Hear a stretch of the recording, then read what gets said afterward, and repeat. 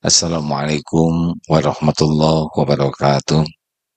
Alhamdulillahi rabbil alamin. Alladhi khalaqal mauta wal hayata liyabluwakum ayyukum ahsanu amala wa huwal azizul ghafur. Allahumma salli ala sayyidina Muhammad wa ala alihi wa ashabihi ajma'in. Ya Allah, wahai yang maha menatap berkahi majlis ini. Allahumma inna nas'aluka ilman nafi'an wa rizqan tayyiban wa amalan mutaqabbalan. Allahumma inna nas'aluka imanan kamilan wa yaqinan sadiqan wa qalban khashian. Ya Allah, jadikan majlis ini menjadi jalan penguat iman kami kepadamu. Jadikan pertemuan ini menambah amal soleh kami ya Karim. Jadikan siapa pun yang hadir yang menyimak menjadi hamba-hamba yang kau ridhoi. Jadikan pertemuan ini menjadi penghapus dosa dan aib. Menjadi jalan ijabah doa. Menjadi jalan sisa umur ini istiqomah. Menjadi jalan hidup kami husnul khatimah. Taqabbal minna ya karim innaka antas samiul alim. Sesungguhnya engkau maha mengetahui ya Allah, maha mendengar lagi maha mengetahui. Amin ya rabbal alamin. Salah satu yang membuat hidup kita menderita adalah kita memperturutkan bisikan setan. Inna syaitona lakum aduun. Sesungguhnya setan itu musuh bagimu. Tapi kita sering tidak menyadarinya bahwa Allah menciptakan makhluk bernama setan. Setan bisa dari bentuk jin, bisa dari bentuk manusia. Setan itu pekerjaannya adalah mengajak kepada keburukan, menampakkan baik sesuatu yang buruk, menampakkan menguntungkan sesuatu yang merugikan, menampakkan menyenangkan sesuatu yang menjerumuskan. Jadi tidak ada kebaikan sama sekali dari setan selain mengajak kepada keburukan. Kendaraan setan adalah nafsu. Itulah sebabnya orang-orang yang tidak serius mengendalikan nafsunya pasti mudah ditipu setan. Kita sudah pernah bahas Mengapa orang akhlaknya jelek? Dua penyebabnya. Lemah ilmu agamanya, jadi dia tidak belajar agama, jadi tidak kenal Allah, tidak kenal kebaikan, ngarang saja sekepikirnya. Dan yang kedua, lemah jiwanya, kalah oleh nafsu. Apakah nafsu amarah, nafsu syahwat, dan berbagai nafsu lainnya. Kita lihat berita-berita tentang perilaku buruk pasti tidak jauh dari dua ini. Benar? Orangnya tidak paham kebenaran dan yang kedua diperbudak nafsu. Nah, setan tidak kelihatan, tapi dia bisa melihat kita. Kita banyak kesibukan, setan kesibukannya cuma satu, yaitu menipu kita, bukan menggoda, Pak, menipu. Siapa yang mau tergoda oleh setan ya? Tidak ada kan bapak-bapak yang tergoda oleh kuntilanak ya? Nah, setan keroyokan menipu kita. Kita nyaris tidak menyadarinya. Tapi, ada tapi nih. Tapi, setan itu ada dalam genggaman Allah sepenuhnya. Jadi kita tidak usah bertarung lawan setan dan gak kelihatan. Tapi kita cukup saja berusaha jadi orang yang dilindungi oleh Allah. Nah, salah satu yang membuat setan tidak berdaya adalah ayat kursi. Sudah hafal ayat kursi? Harusnya baca ayat kursi itu setan takut. Yang terjadi sebaliknya. Kita sambil lari baca ayat kursi. Sudah hafal ayat kursi, Bu? Maksud saya artinya. Hafal ayat kursi bagus, bagus sekali. Tapi ada yang lebih bagus dari itu. Hafal ayat kursi dan memahami maknanya serta mentadaburinya. Ada lagi yang lebih bagus dari itu. Hafal ayat kursi, paham artinya, dan mengamalkannya. Nah, kali ini ceramahnya tentang ayat kursi saja ya. Ayat kursi bagusnya dibacanya kapan? Yang paling disunahkan adalah sesudah sholat. Sesudah sholat fardu. Sebentar saya bacakan dulu ini ya. Dalam hadis Sahih Bukhari, saya baca terjemahnya barang siapa yang membaca ayat kursi. Oh maaf, barang siapa yang membaca ayat kursi setiap selesai sholat fardu, tidak ada yang menghalanginya masuk sorga kecuali kematian. Hadis riwayat An-Nasai dan Ibnu Hibban. Kalau yang tiap malam, barang siapa yang membaca ayat kursi pada malam hari, maka ia akan dijaga oleh Allah dan tidak akan didekati setan hingga pagi harinya. Ini hadis riwayat Bukhari. Jadi, di antaranya itu ya, ini adalah ayat yang paling mulia. Surat Al-Baqarah ayat berapa? 255. Baik Ibu, mau masuk rumah baca ayat kursi. Jadi keutamaan ayat kursi itu adalah membuat kita yang pertama ya, yang utama. Kenapa kita disuruh berulang-ulang? Mau tidur, tiap habis sholat, zikir pagi dan petang, mau masuk rumah, atau kalau kita ingin merasakan ketenangan, baca ayat kursi. Karena yang paling penting dari ayat kursi itu adalah menambah keyakinan kepada Allah. Karena ayat kursi ini ayat yang paling agung, Allah memperkenalkan dirinya di antara asma-asma Allah ada di ayat kursi ini. Jadi harusnya kalau kita sering baca ayat kursi itu nambah yakin kita ke Allah. Kalau nambah yakin, maka tambah tenang hidupnya. Kemarin kan bulan lalu dibahas bahwa ketenangan itu berbanding lurus dengan tingkat keyakinan. Makin yakin ke Allah, makin tenang. Makin kurang yakin, kurang tenang atau disebut GTA. Apa GTA? Galau tiada akhir. Liwe, lirwai.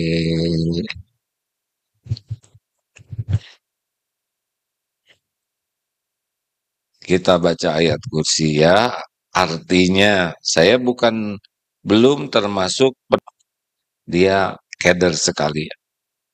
Beberapa kisah tentang ayat kursi ini yang nyata dalam kehidupan gitu luar biasa sekali. Orang yang biasa membaca ayat kursi dengan bagus itu pasti jin, setan itu akan kita coba baca sama-sama. A'udzubillahi minasyaitonirrajim. الله لا إله إلا هو الحي القيوم. لا تأخذه سنة ولا نوم. له ما في السماوات وما في الأرض. من ذا الذي يشفع عنده إلا بإذنه. يعلم ما بين أيديهم وما خلفهم ولا يحيطون بشيء من علمه إلا بما شاء. وسع كرسيه السماوات والأرض.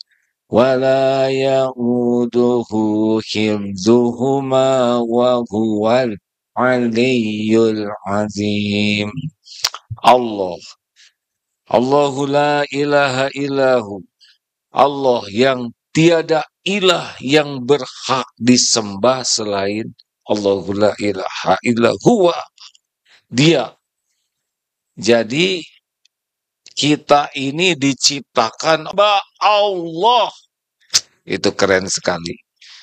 Kalau hamba harta hina, hamba gelar, hamba jabatan hina. Kenapa?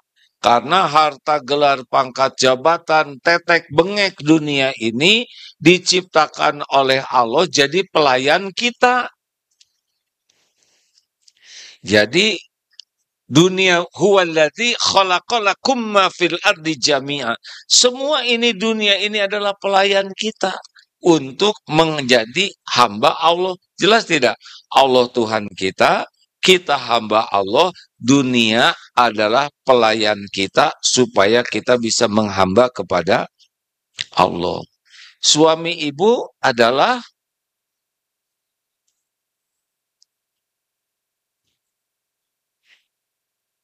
Suami ibu adalah laki-laki.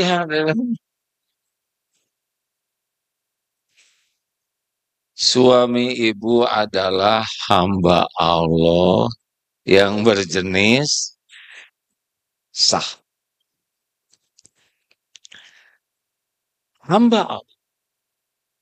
Ibu tidak boleh menuhankan suami. Apa ciri orang yang menuhankan sesuatu? Yaitu, dengar ini ya. Kalau orang sudah punya ilah, Tuhan yang lain, cirinya adalah mendominasi pikiran, hati. Jadi penuh pikiran dan hatinya tuh oleh dia tuh. Dia berjuang agar selalu dekat dengannya, takut jauh darinya, mau berkorban apa pun untuknya, merasa bahagia bersamanya, sedih jauh darinya. Nyaknya ini siapa? Nah, kalau hamba Allah, Allah. Kalau selain Allah, pasti dia. Ada yang dari bangun tidur, yang dipikir harta. Ngobrol harta. Sedih karena harta. Berantem karena harta. Cengasas, ceng, cengangas. Saya ngomong apa tadi? Cengasas, cengeses. Harta. Harta, rib ribet sekali tentang harta. Ah, itu udah jadi Tuhannya tuh. Maka ibu ingat suami nggak boleh kebanyakan, biasa aja. Dan suami juga, nah, suami juga nggak ingat. Shh, jangan don. Jadi gini bu, ini penting. Ibu berbuat baik ke suami itu sebagai ibadah.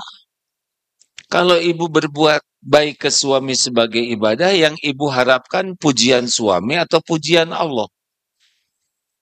Kalau suami nggak muji gimana? Kalau suami kurang menghargai gimana? Jawab. Kalau hamba suami pasti ibu banyak luka. Lebih banyak ingat suami daripada Allah. Lebih berharap dari suami daripada berharap ke Allah. Lebih takut oleh suami daripada takut kepada Allah. Jadi tuh, pasti itu lebih lebih tidak bahagia hidupnya. Biasa aja. Suami ibu itu adalah hamba bukan pemberi rizki, tapi pemakan rizki. Kalau suami ibu meninggal, ibu gimana? Maksud saya bukan nangis. Ini menjadi sederhana pisan. Kalau suami ibu meninggal, gimana suami ibu? Dikubur. Ah, udah nggak nanya, nggak nanya. Ayah-ayah wae ibu-ibu teh. Maksud saya, Kalau suami ibu meninggal, yang menjamin ibu siapa? Kalau belum meninggal, yang menjamin ibu siapa? Ah, cerdas pisan. Makanya jangan kebanyakan ingat suami sampai melupakan Allah. Allah tidak suka. Cirinya Allah tidak suka, hati dibuat gelisah. Sok aja. Kalau ibu lagi galau, lagi sedih, lagi kecewa, periksa hatinya. Pasti sedang didominasi oleh selain Allah. Apakah harap ataupun takut? Biasa, weh. Ya. Jangan segala-galanya demi suami. Coba ibu masak, nyuguhin suami. Diniatkan supaya apa? Supaya suami senang, supaya Allah ridho. Supaya Allah ridho, masak yang terbaik. Mau dipuji, mau tidak dipuji, itu urusan suami dengan Allah. Urusan ibu, masak jadi amal soleh. Jelas? Enak. Nggak dipuji ya nggak apa-apa. Dah Allah mah pasti udah membalas. Nah, ibu teh jadi ribet itu agar suami tidak berpaling ke lain hati. Jadi ibu centil. Ibu senam supaya seperti apalah gitu nggak boleh. Eta teh capek bu. Dan mau secentil apa pun nggak ngepek ya. Kurang lah ada efek ya sedikit. Nanti ibu stres, takut badannya nggak kayak dulu. Nggak langsing selangsing dulu, jadi tahan apa saya ibu. Jadi alisnya teh nyingsa. takut keriput, takut ubanan, takut jelek. Karena apa? Karena ibu lebih mengandalkan penampilan. Tapi kalau ibu mengandalkan Allah, ridho jadi tua, nggak apa-apa. Nggak ridho juga tetap jadi, ya kan? Benar? Ya ibu nggak mungkin kayak zaman dulu terus nggak mungkin. Ini kan udah berapa tahun pengajian di sini ya? Pengajian di Istiqlal mulainya tahun 99. Sekarang sudah 2024. Sudah berapa tahun tuh? 25. 25. 25 tahun. Dulu ikut ke pengajian dibawa ibunya, sekarang dia bawa anak. Nah, yang bawanya udah nggak ada ya giliran. Ini dulu pengajian 10 tahun yang lalu masih lucu-lucu, sekarang lebih lucu. Serius. Nah, dinikmati dak kita mah berbuat baik itu adalah ibadah. Ngurus anak. Ngurus anak itu ibadah, Bu. Mau anak menjengkelkan, mau berterima kasih, mau tidak berterima kasih, semuanya ladang pahala. Belum tentu anak-anak kita berterima kasih ke kita, benar? Dengar yang cerita, ada yang sedih sekali. Hmm, anak lelaki disekolahkan tinggi-tinggi, udah steker kebek ngutang sana ngutang sini. Ketika udah tamat kuliah, kerja, kemudian nikah, coba gaji pertama buat siapa? Buat istrinya, ya, nggak boleh sakit hati. Dan ibu juga dulu istri orang kayak gitu ya nggak?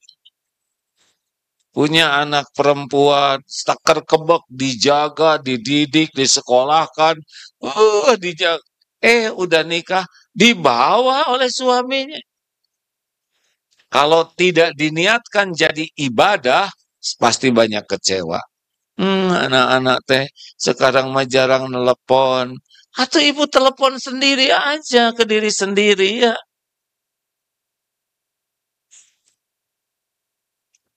Ke mana anak-anakku? Capek, sedih, betul nak?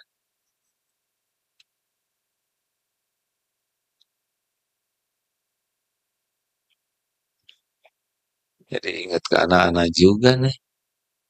Sebelas mangka nih anak. Tapi kalau udah pada nikah, mereka udah sibuk dengan keluarganya. Ya nggak apa-apa. Kita harus siap, betul tidak? Kalau niatnya ibadah, nggak usah diingat-ingat, nggak usah disebut-sebut. Udah, udah ada di sisi Allah. Nah, ayat kursi itu begitu. Allahu la ilaha illa huwa al-hayyul al-qayyum. Apa al-hayyu? Dia yang maha hidup, maha melihat, maha mendengar, maha menyaksikan, maha mengetahui segalanya. Jadi Allah itu tidak ada awalnya dan tidak ada akhirnya. Sebelum segalanya ada, Allah lah yang mengadakan dan tidak pernah berakhir. Dan Allah subhanahu wa ta'ala yang Al-Qayyum mengurus segala-galanya sendiri terus-menerus, tidak memerlukan bantuan siapa pun, apa pun, apa pun. Jadi yang mengurus jagad semesta ini adalah Allah. Setiap saat tidak ada yang lepas dari pengurusan Allah. Kita semua diurus oleh Allah. Kita tidak tahu apa-apa tentang diri ini. Eh? Ibu pernah lihat jantung ibu? Enggak boro-boro jantung. Alis aja bulu mata yang asli aja belum pernah lihat. Coba lihat alis masing-masing. Lucu. Alis aja nggak tahu yang aslinya. Benar? Yang dilihat kan yang di kaca. Coba. Alhamdulillah diurus semuanya oleh Allah. Otak dibuat bisa mikir, telinga bisa mendengar, mata bisa kedip, bisa melihat, nafas, oksigen yang masuk. Padahal ini semuanya nafas ngadep ke sini. Ya, menghisap apa ibu-ibu? Oksigen. Mengeluarkan apa? Karbon dioksida. Semua ngadep ke sini bayangin. Sedangkan saya keperluannya oksigen. Yang disebrotkan oleh ibu-ibu dan bapak-bapak, karbon dioksida kan pembunuhan hadirin. Eh gimana? Saya nggak bisa memilih, memilah oksigen. Lihat juga, enggak. Tapi yang masuk ke sini harus oksigen. Karena kalau saya menghisap karbon dioksida, pasti kelenger. Coba aja ibu bungkus kepalanya pakai kantong keresek. Tunggulah, setengah jam aja ya. Sudah beda. Gimana? Jadi siapa yang ngurus kita? Siapa aslinya yang ngurus anak-anak? Allah. Hakikatnya begitu. Ini coba minum, gelekek. Dan nggak tahu ke mana ini. Tiba-tiba laporan atau mereka keluar ayana baru ke toilet. Iya kan? Makanan nyom nyom nyom.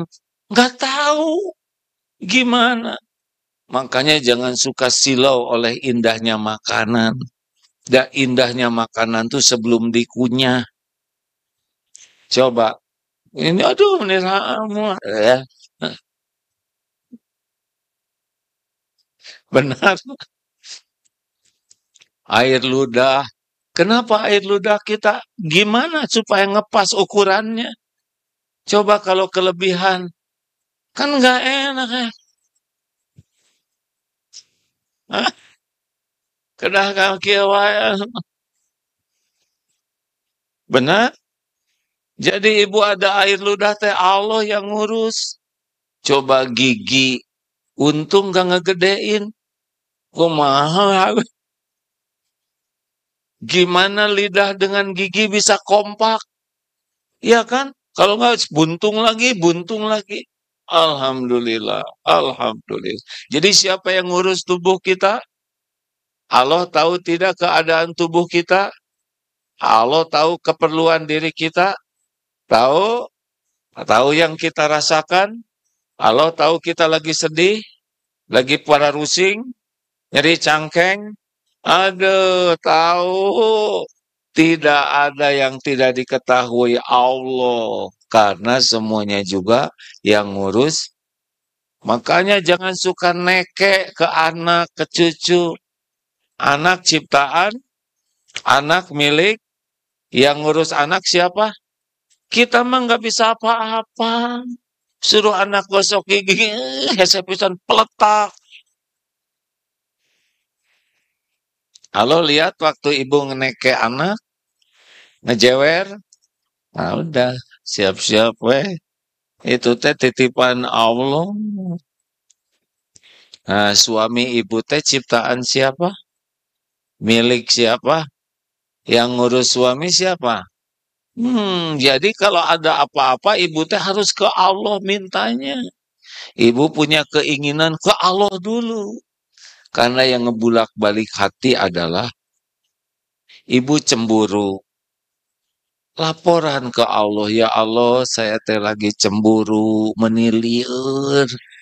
Memang suami saya teh lagi puber ketiga, kalau nggak salah dalam catatan saya mah ketiga atau keempat. Cik tulungan ya Allah. Sing rada jinak suami teh.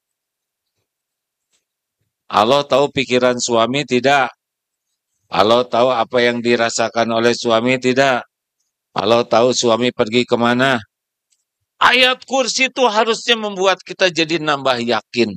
Tidak ada yang keluar dari pengurusan kekuasaan Allah. Semuanya. Bukan cuman kita. Nyamuk, kuman, bakteri, semuanya juga Allah yang mengurus. Allah yang menciptakan, menghidupkan, ngasih rezeki. Allah yang nanti takdirkan sakit, ada yang meninggal. Semuanya hanya bisa terjadi biiznillah. Surat Ar-Rahman itu ada biaya. Yas'aluhu man fis samawati wal ard kulla yaumin huwa fisyan. Semuanya yang ada di langit bumi itu meminta ke Allah dan Allah senantiasa dalam kesibukan. Tapi sibuknya Allah nggak kayak kita, riweh kita mau. Ada yang kelewat, ada yang lupa, capek. Allah enggak. Dia menguasai jagat yang besar ini. Beres-beres dengan kekuasaan Allah. Jadi, dengan membaca ayat kursi, kita harus sadar. Kita tuh benar-benar ada dalam pengurusan Allah. Semuanya. Tidak ada satupun. Rezeki kita yang ngurus siapa? Yang ngasih rezeki kemarin siapa? Yang ngasih rezeki sekarang siapa? Besok lusa siapa? Allah. Kita nggak punya tabungan, Allah tahu. Harus selalu ada tabungan, tidak? Berapa banyak yang tidak punya tabungan, tapi beres-beres we hidupnya ya. Apakah semuanya harus punya gaji? Nah, berapa banyak yang tidak gajian kayak retemu anaknya betul tidak? Lanjut. Sampai di mana tadi teh ya? Masih panjang berarti Bu. Kan? Allah la ilaha illallah la ta'khuduhu sinatu wala naum. Nah, apa artinya Allah tidak mengantuk dan tidak tidur? Artinya apa? Allah tuh mengawasi segalanya itu sempurna. Tidak ada sesaat pun yang terlewat dari pengurusan Allah. Allah ciptakan makhluk mah ada ngantuk, ya. Lagi nyetir ngantuk, apa yang terjadi? Tabrakan. Ibu pegang gelas, ngantuk pasti pecah. Ngantuk tuh belum lagi tidur. Tidur mah udah selesai kita. Ibu digaya-gaya pas tidur mah calang apa ya?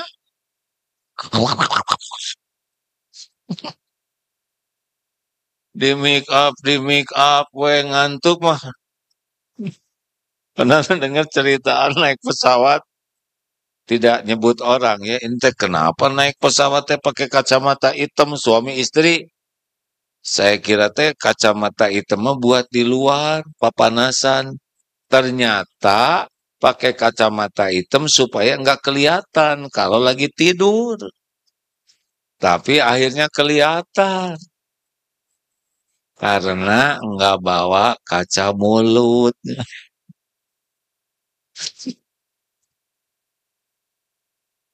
Ibu nggak usah nyebut calawak kayak gitu. Eh.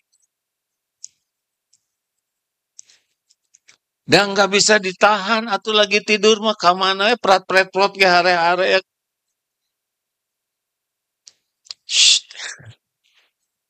Bu, astagfirullahaladzim. Makin tua mah, udah beda kita teh pak. Iya kan? Dulu mah rada jarang kerek, ayo korowok kerek. Nah, pernah suatu saat di daerah puncak ada masjid. Ternyata ini malam-malam nih.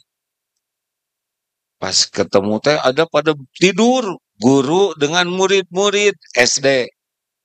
Nah, Pak Guru tuh lagi tidur tuh. Di depan wajah guru itu kaki muridnya, Pak. Pakai kaos kaki, dah pulas we guru teh. Tidur itu memang membuat kita udah kayak mayit aja. Besar kemungkinan Pak Guru mimpi Dharma wisata ke pabrik terasi itu ya.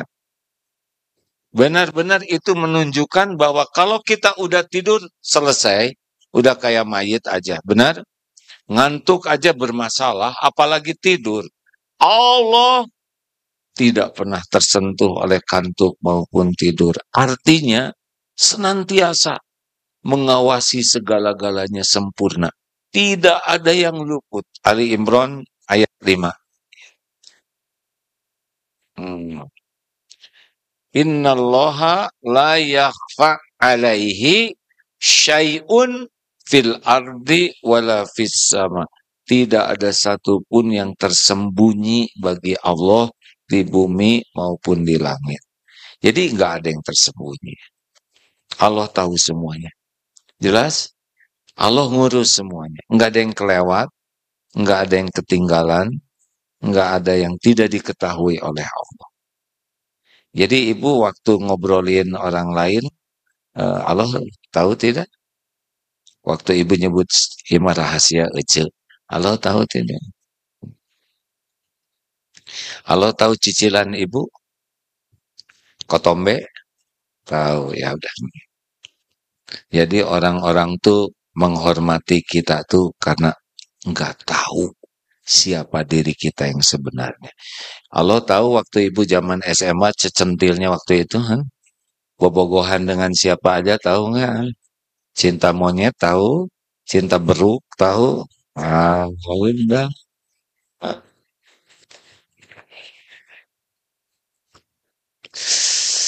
Duh. Kalau saya ingat Allah Maha Tahu teh suka malu ya. Kita suka menikmati pujian. Padahal aslinya mah nggak pantas dipuji kita ini. Betul nggak?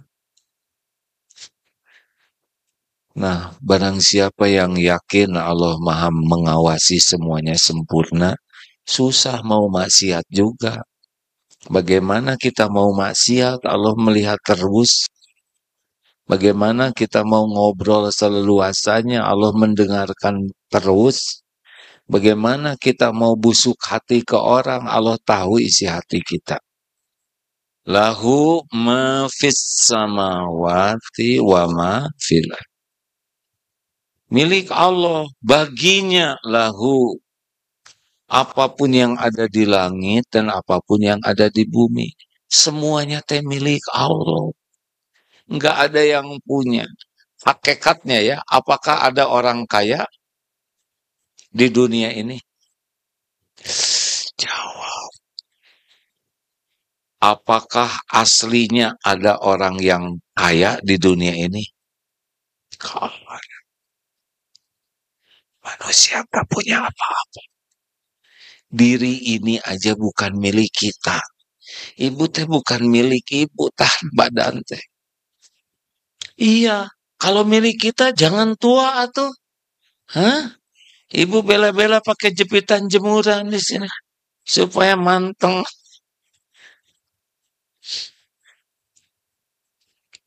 Ini saya udah tua. Kemarin ada jerawat satu di sini. Ya Allah, ini teh sudah tua pakai jerawatan. Untung ingat ini Allah yang menumbuhkan. Apa maksud Allah gitu ya pakai jerawatan aki-aki asa kurang pantas ya kan? Jadi orang yang baca ayat kursi selain tadi ya yakin semuanya didengar, dilihat Allah juga jadi yakin semua teh milik Allah. Jadi nggak ada kagum, nggak ada kagum sama orang kaya teh. Ah biasa we. Sama. Mau kaya, mau miskin, sama. Makhluk Allah yang diuji oleh Allah dengan kekayaan. Ya perjalanan hidup kan udah nyobain saya jadi bayi dulu ya. Nggak ingat tapi. Waktu SD ingat sebagian. SMP lincah-lincahnya. Uh, SMA. Wah, terus sampai 40, 40 sekian. Waduh, masih lihat video zaman dulu teh muni. Acong karyo, acong gitu. Muni lincah gitu. Ah, iya nama muna. Heh. Astagfirullah mau bangun tidur eh, nah jadi baru beneran itu teh dari duduk mau berdiri juga nah dulu masa kacleng kacleng sekarang mm. Oh ya ya ya sudah dikurangi oleh Allah ya. Dan semuanya milik Allah bukan milik kita. Jadi ibu kalau ngaca teh ya kalau bercermin teh dong namanya kieu nggak boleh. Terus Oh lama juga kia terima wajah yang ada ya. Dinikmati eot dinikmati ya mulai ada uban di sini. Ah, nikmati. Nggak usah capek-capek. Dicetin ah, sudah lah kan baik. Dinikmati. Betul tidak? Dan milik Allah semuanya juga. Mau dibikin apa aja oleh Allah Ya sesuka yang punya. Benar? Bersyukur masih dihidupkan, masih bisa sujud, masih bisa dengar, masih bisa bicara. Mending syukurin yang ada daripada mikirin yang udah nggak ada. Ibu hati-hati tah di pik itu tah di potret di WA dan sebagainya. Jangan suka pakai potret zaman dulu, nggak bohong. Eh, saya sering ketipu ya. profil atau apa namanya oh iya iya iya hmm, ini zaman bola ai tuh eh benten udahlah enjoy we ini milik Allah benar? Urus yang bagus dirawat supaya Allah yang menitipkan senang. Gosok gigi keramas yang bagus sok mau pakai apa? Uh, apa teh perempuan teh biasa sebelum tidur teh pakai milk cleanser atau apalah pakai ya saya kuma ibu-ibu lah atau pakai udah sok bersihan niat ya Allah. Ini teh wajah milikmu. Hmm, punten ya centil astagfirullah. Nikmati makan yang bagus ya, yang Allah sukai yang halalan toyiban olahraga yang wajar. Jangan centil. Pakai ikut lari-lari terus sepuh lari-lari pakai legging atau nah isin ningali nage ma terus nenek-nenek nganggerok mini dek ke mana nenek Mau ke mana nenek? Tong centil-centil teing lah. Sekarang lagi musim kan? Malu lihatnya. Pakai jilbab ngetet ya. Pakai rok. Itu kan ah nggak boleh dibayangin ah. Dah nggak boleh nggak boleh. Olahraga mah ibadah supaya Allah ridho gitu ya. Dan yang menentukan sehat sakit mah adalah Allah Subhanahu wa taala. Jadi kalau semua milik Allah, kalau disempitkan oleh Allah nggak usah rewel. Kadang rezeki kita dibuka, kadang ditahan, kadang lapang, kadang sempit, kadang ngirit, kadang diambil oleh Allah, ya nggak apa-apa. Sekarang punya ini, eh besok dijual ini, itu ya nggak apa-apa. Dunia mah kayak gitu aja. Jangan berantem masalah duniawi, ya. Shh. Eh, nanti jangan ribut dengan warisan orang tua, memalukan. Kerja enggak, apa enggak, ribut lagi pakai warisan. Jangan. Jangan suka berat kalau mau sedekah, mau berbagi teh ya. Jebet-jebet aja. Nanti dikasih lagi kok oleh Allah. Allah udah janji, mana kosot sodakotun min mal. Tidak berkurang harta dengan sedekah. Udah bet-bet aja ya. Nanti dikasih lagi kok oleh Allah. Allah pemilik langit dan bumi. Yang orang ngaco aja dikasih rezeki, masa orang yang senang sedekah nggak dikasih? Betul tidak? Shh. Eh, beneran ya. Nanti periksa kerudung ada berapa di rumah, kepala ada berapa dihitung. Ya kalau ke kelapa kepala satu nggak usah kebanyakan, beli bagiin, beli lagi bagiin, gitu. Jangan pelit. Lahu ma fis samawati wa ma fil ard. Man yashfa'u 'indahu illa bi'idzni. Siapa yang bisa memberikan uh, uh, syafaat, pertolongan Gak ada kecuali yang dengan izin Allah. Artinya gak ada yang bisa nolong kita di dunia maupun di mana pun kecuali dengan izin Allah. Bergabung sekarang jin dan manusia, ya semuanya gabung mau memberikan pertolongan kepada kita. Kalau Allah nggak izinkan, terjadi tidak? Jawab, nggak bisa, nggak bisa. Makanya nggak usah berharaplah sama makhluk bikin sakit hati. Ibu juga sama suami nggak usah, nggak usah banyak berharap. Suami itu nggak akan bisa berbuat apa pun ke ibu tanpa izin Allah. Dengerin, kalau ibu pengen sepatu baru, tas baru, kerudung baru, minta dulu ke Allah, baru bicara ke suami. Kalau bicara ke suami juga nggak usah pakai hati, hanya syariat aja. Pak, kerudung saya tinggal satu ya kalau pergi pakai kerudung kalau ke rumah kerudung ini jadi taplak. Tolonglah pak. Suami juga udah sering kali dibilangin kalau istri minta teh nggak usah menolak. Oh yang naon bu? Kerudung? Bismillah. Ibu sok cari mana? Bapak minta ke Allah juga? Ya Allah.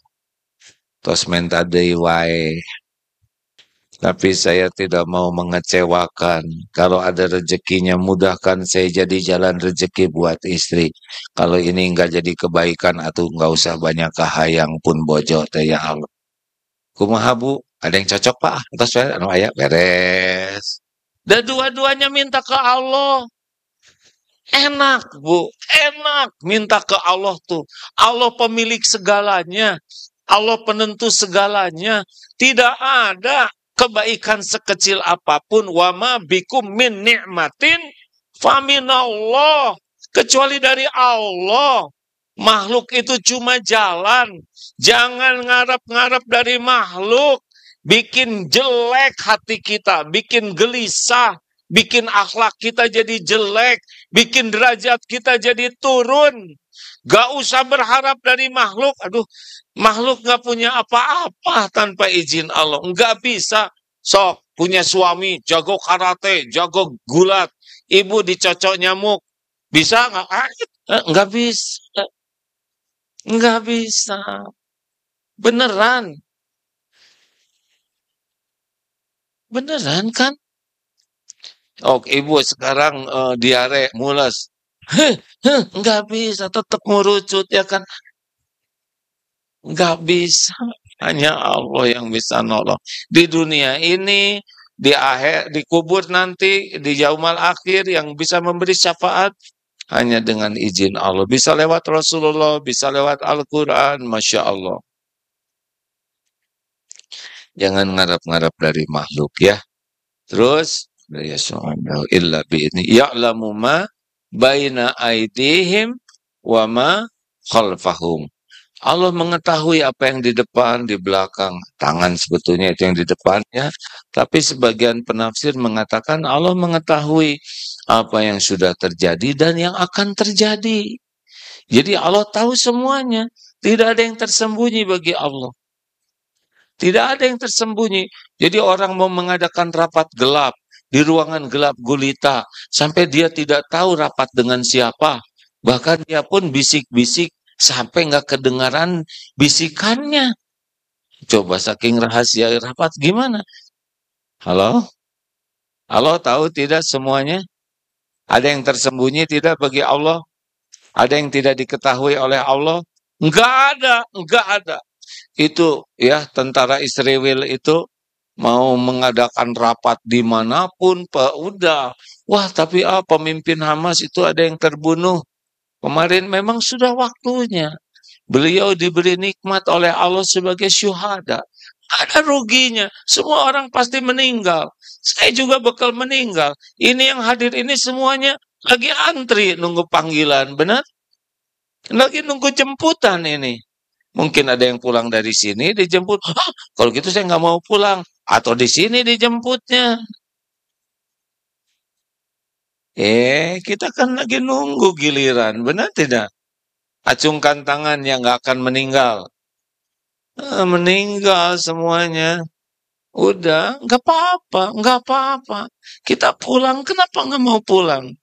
Malah sebetulnya harusnya ditunggu-tunggu kita pulang kepada Allah pencipta kita yang maha baik yang selama ini mengurusi kita setiap saat kepada Allah yang maha sabar walaupun kita ngaco banyak dosa tetap diurus, ditutupi dosanya, dibimbing, dikasih ilmu, dikasih kemampuan beramal. Masa kita nggak pengen pulang kepada Allah?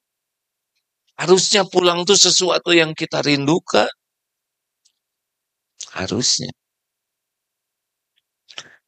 Tapi kadang-kadang imannya belum nyampe ke sana. Jadi sieun we. Sieun eta teka sorga yang Iya, kalau ketemu dengan Allah, kalau dikulub di neraka kuma. Hmm, berbekalah. Apa barusan teh? Allah tahu apa yang akan tahu. Tenang aja. Ingat ceramah yang lalu, kalau ada ancaman Allah, kuman besok lusa atau bahayat 51. Kulla yusibana illa ma kataballahu lana huwa Maulana wa 'alallahi falyatawakkalil mu'minun. Katakanlah sekali-kali tidak akan menimpa kepada kami kecuali apa yang sudah ditetapkan oleh Allah untuk kami.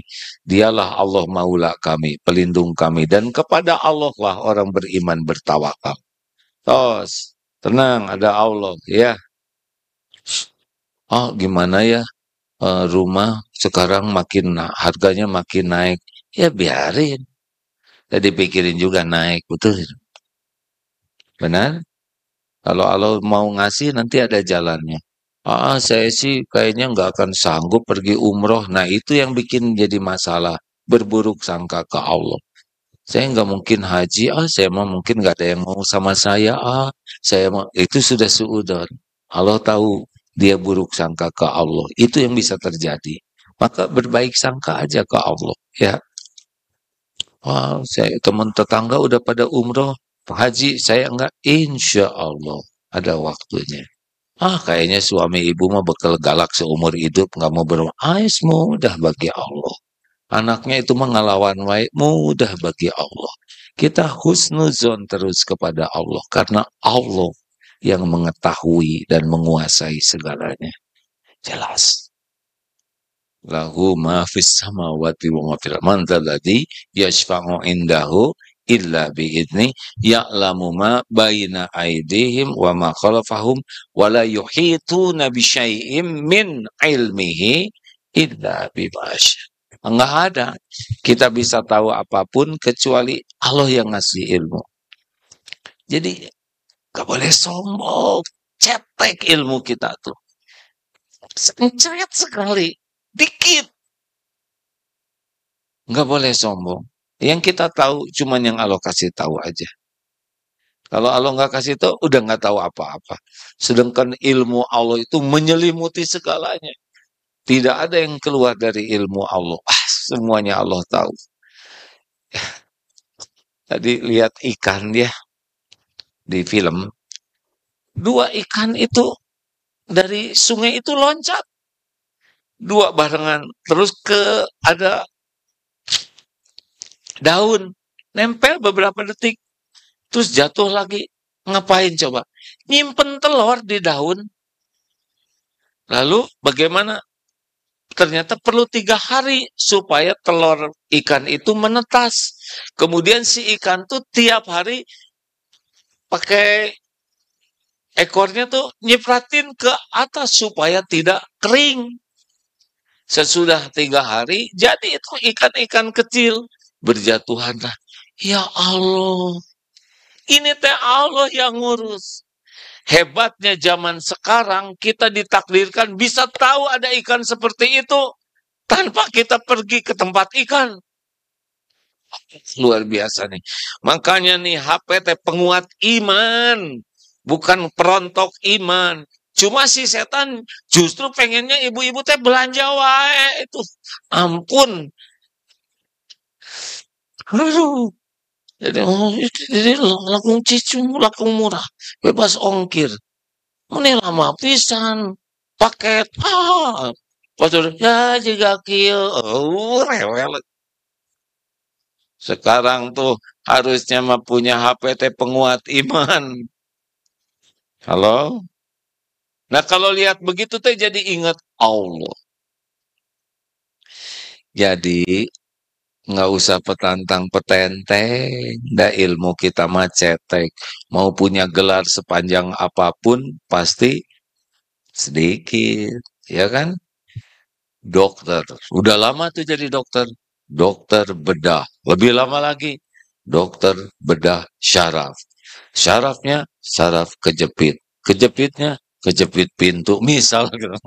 Ini panjang Oh sekarang ada satu spesialis lagi. Sebelumnya kan hanya ada spesialis anak. Sekarang katanya ada spesialis orang tua. Dan orang tua juga banyak masalahnya. Benar? Spesialis orang tua, bab cangkeng, ya enggak? Nah, begitulah. Nggak usah somse, ya. Allah tahu semuanya. Kita cuma tahu sedikit. Jadi kalau ada yang nyebut bodoh, bagaimana?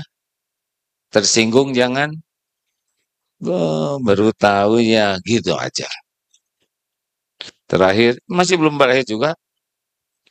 Gitu di sini lebih masya wasi'a kursiyyuhus samawati wal Ah, ini kekuasaan Allah meliputi langit dan bumi dan Allah tidak berat mengurus semuanya tuh. Nggak ada berat-beratnya. Allah menghidupkan. Ini segini banyaknya makhluk ini nih ya. Ah, segini cetek sekali di antara makhluk yang ada. Beres ini. Ibu-ibu dan bapak-bapak tuh diurus oleh Allah nih anak-anak ini. Dek, kelas berapa sayang? Adek, maaf, usia berapa sayang? Yang mana aja? Bapak, eh, ja, nah yang ada aja, Pak. Berapa usianya nak? 14 tahun. 14 tahun. Ade uh, sudah berpikir tentang situasi ekonomi dunia ini? Hmm? Belum. Belum. Atau uh, tentang perekonomian rumah tangga ke depan ya? Kan? Ada? Belum. Belum. Ada punya penghasilan yang utama gitu? Kan? Gaji ya, rutin dengan tunjangan jabatan? Enggak, enggak ya. Ada sering mikir rezeki tidak? Kan? Jawab, jawab. Jawab sayang sering memikirkan rezeki gitu yang rumit-rumit enggak? Enggak. Enggak bagus ya. Tapi ada yang makan terus. Makan. Hidup, minum terus. Minum. Uh, rezeki baju ada semuanya. Alhamdulillah ada. Gak usah pakai banyak mikir ya enggak? Harusnya makin tua tuh makin tenang. Karena makin yakin ke Allah. Ini ada-ada ini. 14 tahun anteng, weh nggak tahu perekonomian. Ada tahu nggak dolar semakin meningkat? Enggak ada, enggak ada dolarnya, dolar dalir yang penting mengaji. Beres. Buat adik-adik sederhana begitu. Nah, tidak rumit bagi Allah. Ini diciptakan, gak banyak pikiran, beres, rezeki. Betul tidak? Ini ibu-ibu yang hadir, bapak-bapak dihidupkan oleh Allah, dikasih nafas, dikasih minum. Lima hari nggak minum, udah ngejengkang kita mati nih bu. Kasih minum, walaupun minum itu lebih mahal daripada bensin ya. Seberapa tuh? Di Australia kemarin di Perth satu botol yang 600 cc itu 40 ribu. Tapi marinum we. Kenapa? Karena air kerannya gratis ya. Jadi dia keran beres. Begitulah. Wala yaudu hifzuma wa huwal aliyul azim. Allah maha tinggi dan maha agung. Udahlah, nggak usah merasa gimana gitu kita. Ya, dengan jabatan. Enggak, nggak usah lah. Lama-lama juga pasti berakhir kok. Lama-lama jadi rapuh kalau ada umur, lama-lama meninggal. Ya udah gitu aja. Ingat tadi ya.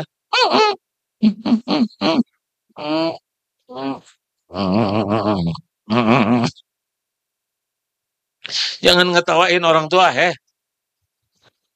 Tadi, astagfirullahaladzim.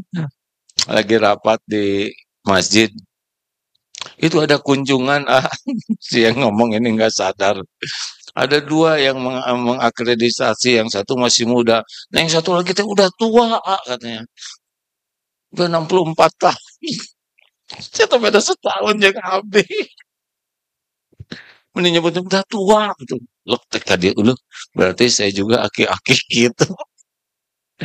Tapi ah cicing we abdi daru maos. Begitu hadirin sekalian. Jadi kalau baca ayat kursi nanti bisa nambah iman. Senang tuh. Oh, jadi oh Allah teh hebat bisa menguasai ah masalah saya mah kecil nggak ada apa-apanya. Rezeki milik Allah langit bumi milik Allah. Masa kita rewel dengan rezeki? Benar? Kalau lagi dikasih syukur lagi ditahan sabar lagi nyari yang benar kalau diambil ridho lihat yang lain nggak usah rewel. Orang lain juga milik Allah. Ini punya ini. Wah itu TV-nya gede udah yang kita aja dideketin ya. Alhamdulillah ini si ibu ini punya gelang, ibu beli karet gelang, aman, udah beres. Terus tong riweh lah sama dunia mah betul tidak? Mas mau ngapain ribet? Meningkatnya cari sholat yang khusyuk, bisa ngasih makan orang lain, bikin restoran gratis. Uh, apalagi sih hidup ini kan? Berbuat yang terbaik, ke istri berbuat yang terbaik, ke suami berbuat yang terbaik. Kalau mereka menjengkelkan, masing sabar, maafkan, tetap berbuat baik. Ke tetangga berbuat baik. Terus aja mikir baik, ngomong baik, berprasangka baik. Udah baik-baik-baik aja. Mau lagi? Kita tunggu supaya meninggalnya meninggal baik. Mau apa? Hidup kan cuma begini aja, ya kan? Enggak usah segala diribetin. Heh, mak, enggak usah segala pengen tahu. Enggak usah segala ditanyakan. Enggak usah menyelidiki ini dan itu. Ribet. Kecuali yang manfaat aja. Enggak usah segala ditanya. Enggak usah segala ingin tahu. Enggak usah segala diceritain juga. Jadi banyak masalah. Udah, hemat pikiran, hemat hati, hemat bicara dengan Allah aja. Ya, kita pol berbuat baik ke orang sebagai ibadah.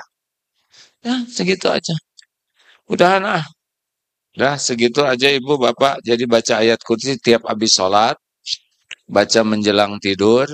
Masuk rumah baca. Kemudian zikir pagi dan petang baca. Lalu memperbanyak baca Al-Quran ayat kursi. Untuk menambah keimanan, nambah amal soleh baca. Baca untuk keluarga, untuk anak, boleh itu Pak. Nanti setan enggak, enggak bisa. Dia takut dengan orang yang baca ayat kursi.